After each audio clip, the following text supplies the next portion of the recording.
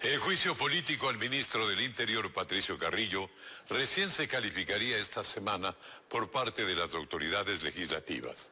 UNES y Pachacutic impulsan la destitución del funcionario por las protestas de junio, entre otros temas. Conozcamos más del avance de otros procesos de fiscalización en la Asamblea.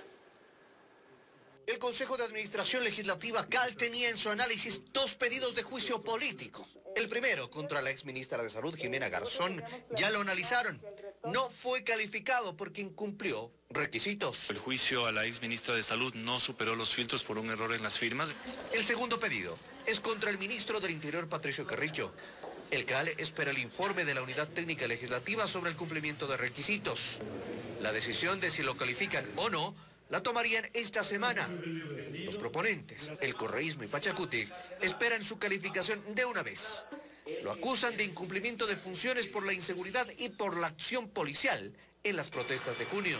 La vulneración de los derechos humanos de manifestantes en Chimborazo, las garrotizas que les dieron a muchos manifestantes. El tema de la seguridad nacional es complejo, el sistema carcelario, el sistema eh, de cuidado ciudadano, las muertes trágicas en las, en las calles. En el oficialismo anuncian que defenderán la labor del ministro Carrillo. Se mantiene la misma visión del Ejecutivo, todo nuestro respaldo al ministro Carrillo en función de eso. Estamos a la espera del informe técnico que ve hacer la unidad técnica legislativa para que llegue al CAL. Y en el Partido Social Cristiano, aunque dicen que revisarán las acusaciones, ratifican su respaldo a la fuerza pública. Para lo que nosotros al menos no nos vamos a prestar es para desacreditar a la fuerza pública, a los policías que cumplieron su trabajo. Pero este proceso tendría que esperar entre dos y tres meses, debido a que la Comisión de Fiscalización tramita ahora el juicio político contra el Consejo de la Judicatura, que iniciará incluso comparecencias este jueves.